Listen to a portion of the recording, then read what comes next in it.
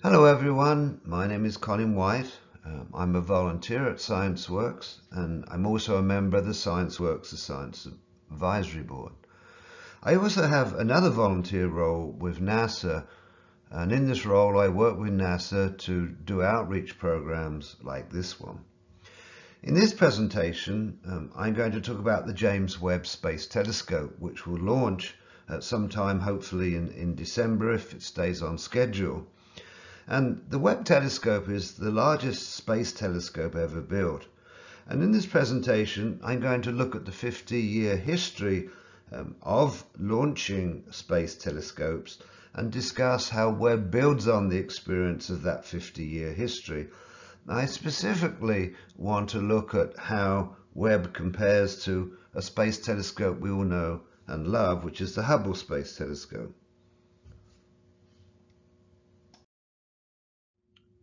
So as I said in my introduction, uh, the US has been launching space telescopes now for over 50 years. The first successful uh, telescope to be launched was the Orbiting Astronomical Observatory in 1968. And in fact, that space telescope had 11 uh, telescopes on it that actually detected ultraviolet waves. And then 50 years later, hopefully at the very end of this year, we'll be launching the James Webb Space Telescope. So I'm going to look at the history over those 50 years, but I specifically want to look at why we launch telescopes in, into space. We have them on the ground, so what advantage do space telescopes have, and how, and how do they help astronomers understand the universe and how it has evolved over time? So we use telescopes to understand the structure of the universe. Um, we have space telescopes like Hubble, shown on the right-hand side here, but we also have telescopes on the ground. Uh, on the left-hand side of this slide, we see um, ground-based telescopes in, in Hawaii, on, on the island of Hawaii.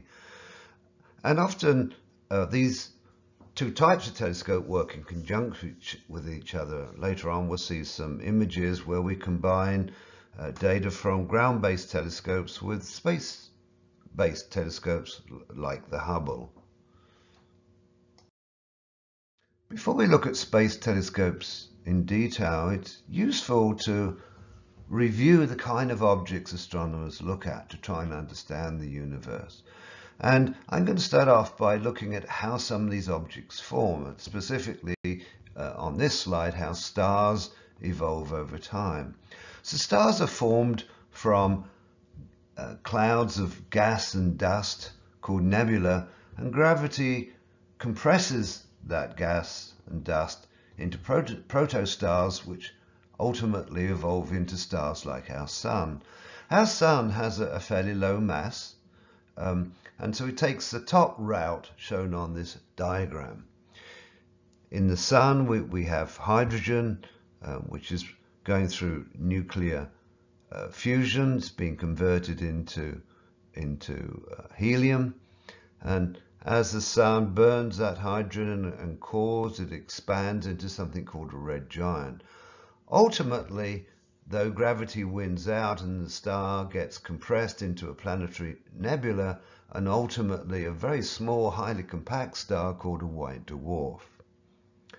The other route stars take is, is the bottom leg shown on this chart. Um, many stars have a much higher mass than our sun, so these high mass stars again uh, are converting uh, hydrogen into helium, but they're much bigger. They're called red supergiants. Ultimately, though, uh, gravity wins out and the star collapses and typically explodes into something called a supernova. And in fact, these supernovae are so bright, they've, over the centuries, have been actually seen even from Earth. Um, what then happens after a supernova is that that evolves into um, various kinds of objects, uh, black holes, neutron stars, which we'll look at at more detail as we go through this discussion. So astronomers look at various kinds of uh, astronomical objects. Uh, many of them are shown on this chart here. We've seen how uh, nebula uh, evolve into stars. Uh, And then stars are, are, components of galaxies. So, for example, our sun is a part of the Milky Way galaxy. And stars within galaxies often have planets. So if you think of our star, the sun, it has eight planets. And many other stars within the Milky Way galaxy um, have planets, and we tend to call those exoplanets. And as we'll see later on, many thousands of exoplanets have been discovered and astronomers are interested if they have the kind of environments that would support life, very much like life on Earth, for example. We've seen how stars um, evolve into supernova uh, and then into neutron stars and black holes. And neutron stars, for example, um, create other things called pulsars. Uh, neutron stars have a lot of uh, magnetic energy and they spin and as they spin they pulse radio waves uh, which we can detect on Earth. Uh, some supernova evolve into black holes um, and uh, these black holes um, actually often lead to the creation of, of quasars. They feed quasars. Quasars are very bright objects uh, that are actually fed from the activity from black holes. Over the next few slides, I'm going to show you some images of some of these astronomical objects. Many of them are taken using the Hubble Space Telescope.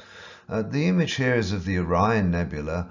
That's a very well-known nebula. It's part of the Orion constellation. Often, if you go out of the night time in, in the winter, you'll see Orion. You can see its belt and its sword. And in fact, in, in the sword is uh, the Orion Nebula.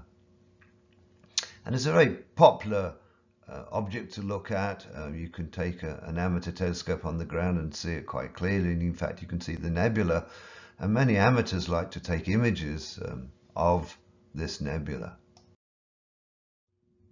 This is a Hubble image of a protostar. As you can see here, we've, we've got gas and dust. And gravity works on that and compresses it. And, and ultimately, this protostar as it forms will evolve into a regular star. This picture is of a planetary nebula which we've seen occurs towards the end of a life cycle of a star. This is the Eskimo Planetary Nebula.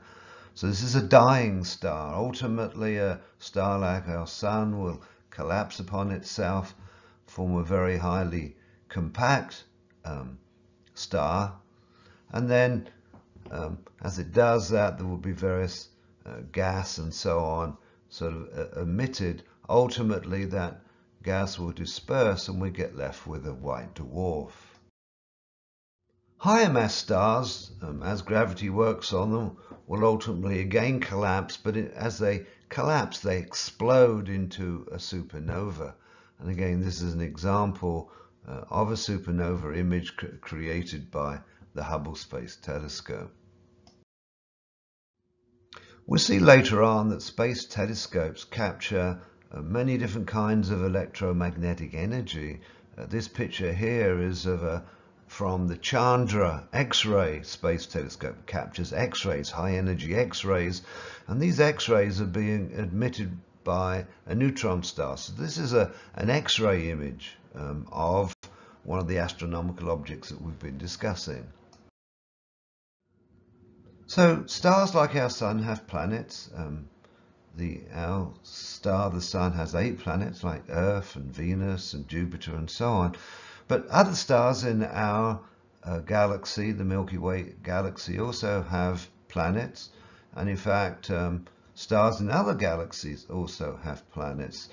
Uh, this slide here shows uh, a very famous and well-known system called TRAPPIST-1. TRAPPIST-1 is the Sun, and orbiting that Sun are seven uh, Earth-sized planets.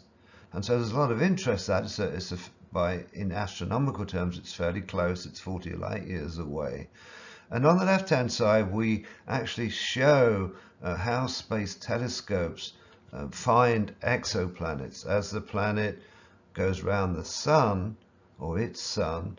Um, as it goes around the front of the sun facing the space telescope, there will be a slight dimming of the light. And you can see on the left-hand side here, there are slight breaks in the uh, brightness of the star um, as the planet orbits the sun called TRAPPIST-1 and that's how we that's one method by which we find exoplanets.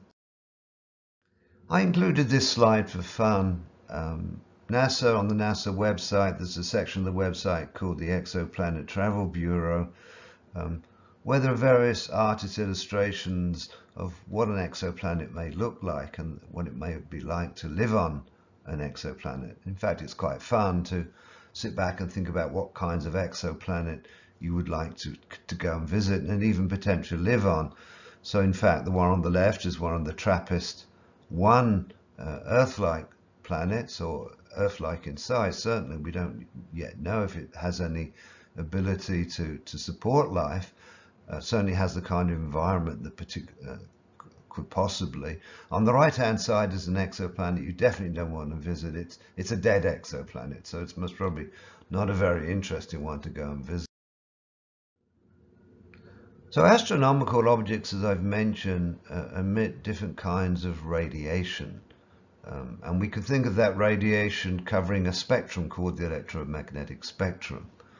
Um, so we have radio waves, um, that's how we transmit radio signals, microwaves, which we, we cook with, for example. Infrared, are the remote control for a TV emits a, an infrared signal to change channels and so on.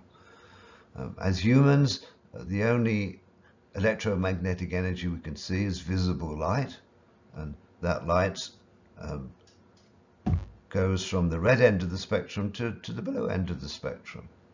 Beyond visible light, we, we get ultraviolet, uh, we get X-rays, and we get high energy gamma rays. So we've got this broad spectrum of electromagnetic signals and astronomical objects emit various forms uh, of these kind of waves and that's what space telescopes and telescopes on the ground even detect.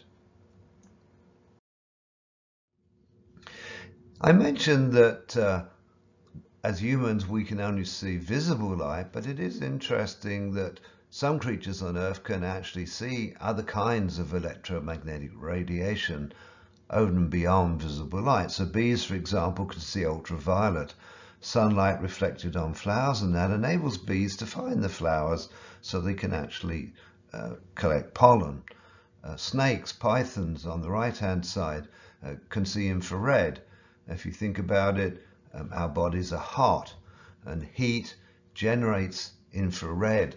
And so snakes can see um, creatures like ourselves and other hot-blooded animals by detecting infrared uh, radiation.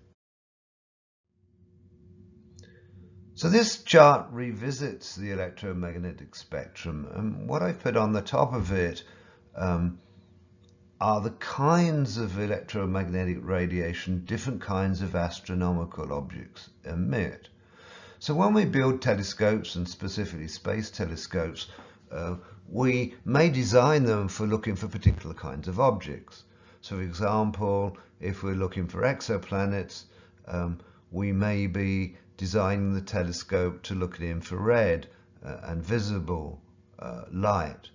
Whereas on the other hand, if we're looking at pulsars, uh, we may be looking for radio waves and gamma rays. So often space telescopes may be designed to detect particular kinds of electromagnetic radiation so the research can focus on particular kinds of astronomical object.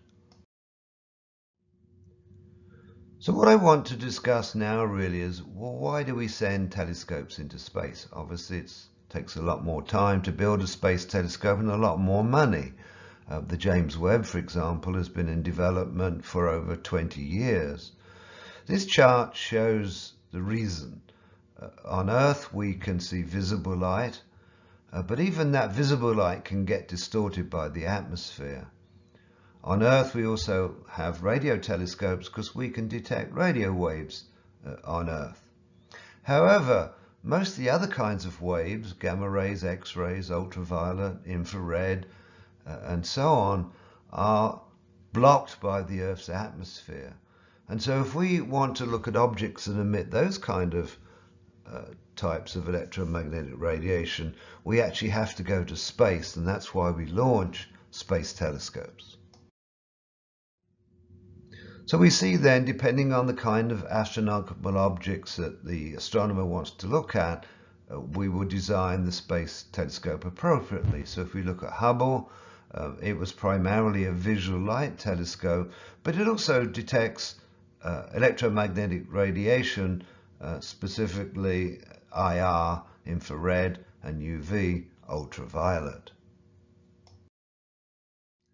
The next few slides um, give examples of some key space telescopes that have been launched over the years. Some of them no longer function. Uh, some of them are still uh, functioning perfectly well and have been around for a number of years. So on this chart, we, we show examples of the Compton, Chandra, and, and XMM Newton space telescopes. Uh, the first two were launched by NASA. The third one was launched by the European Space Agency. And as we see, you know, two of them uh, are spe specialize in detecting X-ray sources. Uh, the Compton one at the top is specializes in capturing uh, gamma ray data. And on the right hand side of these charts, I show the kinds of uh, object these telescopes have detected. So for example, if we look at the X-ray telescope from the European Space Agency at the bottom, we see that it's detected pulsars in the Andromeda galaxy, which is our, the galaxy that's closest to, to the Milky Way. This chart shows further examples, um, shows examples of two space telescopes that detected ultraviolet rays. Um, one interesting one um, is on the top right hand side. I mentioned the OAO observatory launched in 1968 that was the first to discover that um, comets have large halos of hydrogen gas around them. Um, an exciting telescope was Kepler, uh, which actually was in existence for about nine years. It discovered over 2,000 potential exoplanets. In fact, these potential exoplanets uh, can provide candidates for, in fact, the James Webb telescope to look at in more detail. Uh, Kepler was a visual light telescope, uses techniques like I mentioned. As a planet goes round a, a star, um, it can actually dim the light and the space telescope can look at that dimming. And that's how uh, Kepler detected many of these exoplanets. We'll see in a minute that the James Webb telescope is specifically designed to detect infrared rays, electro magnetic waves. Um, and it carries on the legacy of very well-known space telescopes that detect IR radiation, uh, Spitzer and Herschel. And really what James Webb will do will continue uh, that work. Um, I show another one here, the European Space Agency, uh, the Planck Space Observatory, which looked for microwaves when the Big Bang occurred billions of years ago. Um, basically, uh, microwaves were emitted throughout the universe, and in fact, the Planck uh, Observatory uh, was an observatory that enables us to confirm the fact the Big Bang did occur by examining the microwave background radiation uh, in the universe. So that was just a few examples of, of some fairly well-known space telescopes. Uh, this chart is, is an eye chart. It shows uh, many of the space telescopes that exist. It also shows uh, Earth-facing telescopes which, which, are used for monitoring Earth, weather satellites, uh, satellites that really look at the effect of climate change uh, on, on our planet. And on the left-hand side, you see the kinds of electromagnetic radiation each of these telescopes detects. At the bottom, uh, we show future missions. And as you can see, there's a considerable number of telescopes planned for the future to uh, use the experience of existing telescopes to gather more and more information. So let's start looking at James Webb uh, the James Webb Space Telescope, as I mentioned, is primarily an infrared telescope, and I'll explain why in a minute. Uh, I did discuss how Hubble was primarily a visual light telescope, but did uh, collect some infrared data as shown on this chart. But as we've seen here, James Webb uh, captures a, a, a, wide range of different kinds of infrared frequencies and wavelengths.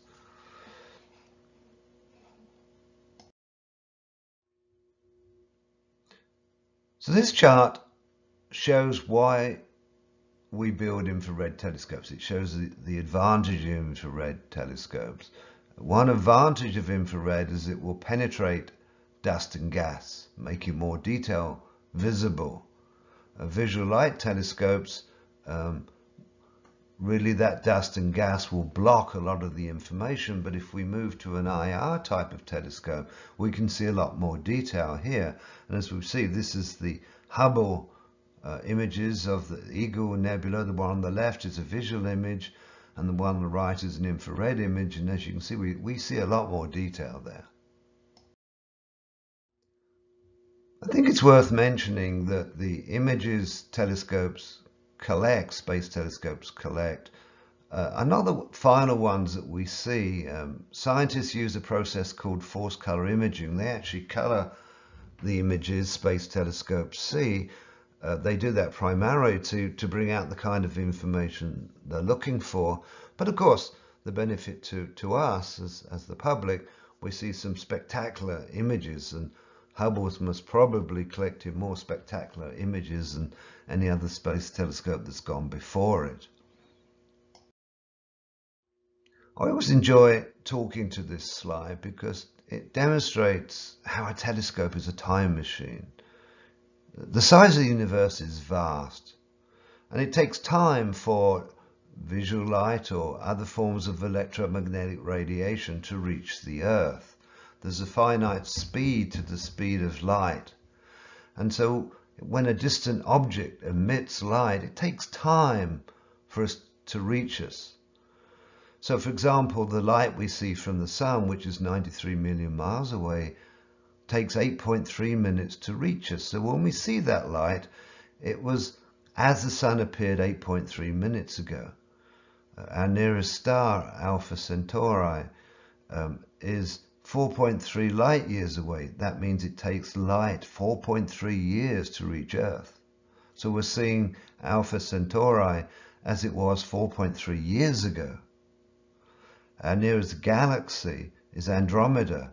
That's two and a half million light years away, which means it takes light two and a half million years to reach us. So when we go out with, say, a pair of binoculars and look at the Andromeda galaxy, the light we see actually left Andromeda two and a half million years ago. We're going back in time and seeing what Andromeda looked like two and a half million years ago. That's kind of difficult to, to get your mind around, but this chart very clearly shows how a telescope enables us to look back in time. I mentioned the Big Bang on an earlier slide. Astronomers believe that the universe as we know it today began some 13.8 billion years ago in a single event that we call the Big Bang.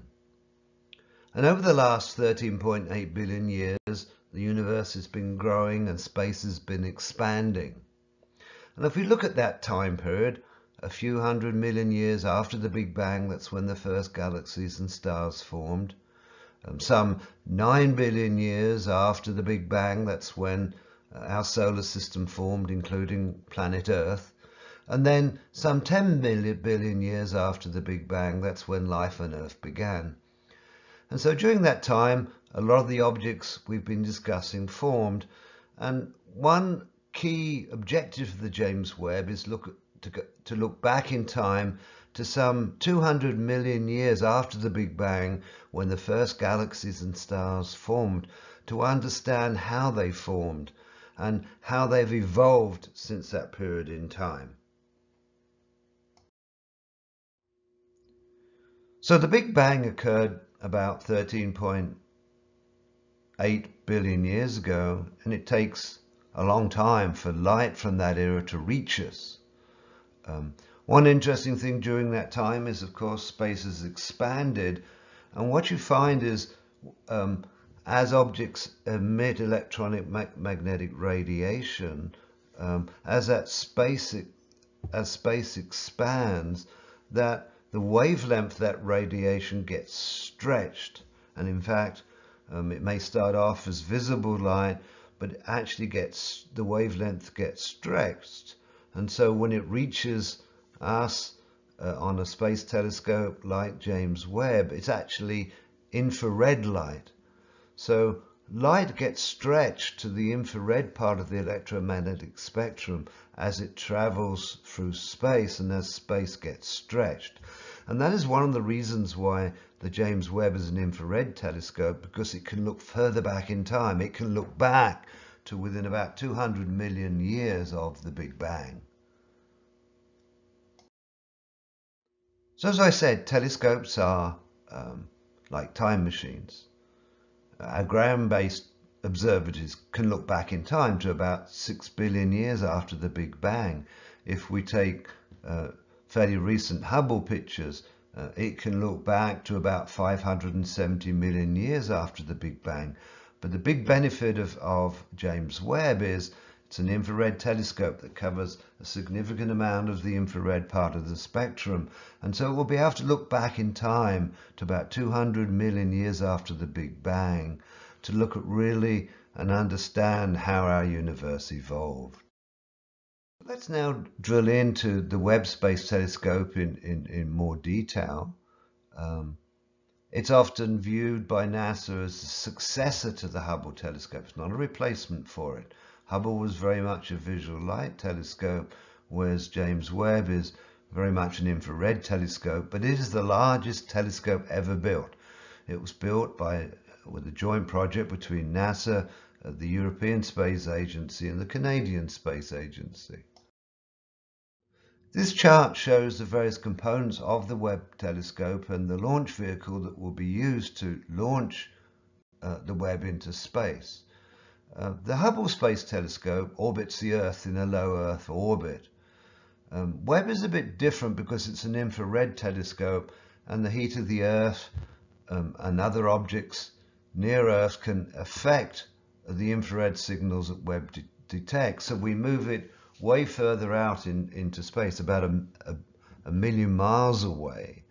So it isn't affected by the heat of Earth. It has a very large primary mirror, much bigger than, than, than Hubble's. And that mirror will be used to detect um, infrared signals.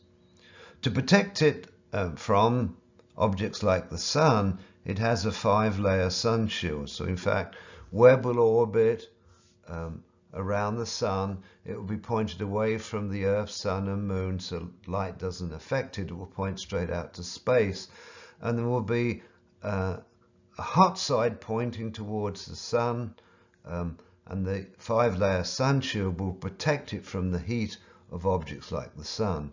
The cold side will be close to absolute zero so uh, we need it to be very cold to efficiently detect infrared signals. Webb is so big um, that there's no there's no spacecraft on Earth that could launch it, so it has to be folded up inside a spacecraft and then the spacecraft launches it and it, then it will deploy over a period of time. But even folded up, it requires a very large uh, rocket to launch it. The rocket that will be used um, is the Ariane 5, it's a Euro European Space Agency rocket, and this rocket will be launched uh, from French Guiana, which is near the equator in South America. This chart shows a few more details about the Webb. It actually has four instruments on it to, to capture images and it will also uh, capture a spectra of astronomical objects. A spectra is the way we um, collect a signal and break it out into its individual components. So we can take light, for example, and break it out into the various colors that we see often in the sky of the rainbow. And so Webb does actually look at the spectra uh, of many astronomical objects as well as collecting um, regular images using a regular camera. And there are four kinds of instrument on Webb designed for different frequencies uh, to capture different kinds of electromagnetic infrared radiation. It will be able to do some visual uh, observing, specifically in the red and yellow parts of the visible spectrum. Webb has four main objectives, and so we use these various instruments that I've briefly mentioned to carry out these objectives. I've said, you know, number one priority is to look back in in time to 200 million years after the Big Bang so we can understand how the first galaxies formed. Another priority is to understand how those galaxies evolved over time. And as those galaxies evolved, we're interested how stars are formed, how the first stellar nurseries and planets were formed. And then lastly, uh, we're going to be using uh, Webb to look at exoplanets, to actually analyze using spectra the chemical properties of planetary systems, exoplanets. For example, look at the atmosphere to see what is in the atmosphere. Is there oxygen that life could use uh, to, to evolve and so on. So these are the four main objectives from looking at the first galaxies all the way through to investigating in detail exoplanets. So this chart shows the four main scientific instruments of Webb, as you can see here. Uh, each of these instruments has cameras for taking visual images or infrared images. They have spectrographs that break breaks electromagnetic radiation and light into colors for analysis. And it has coronagraphs that block starlight. If you've got an exoplanet going around a very bright sun, the coronagraph can be used to block the sun so the uh, Webb can look at the actual exoplanet itself.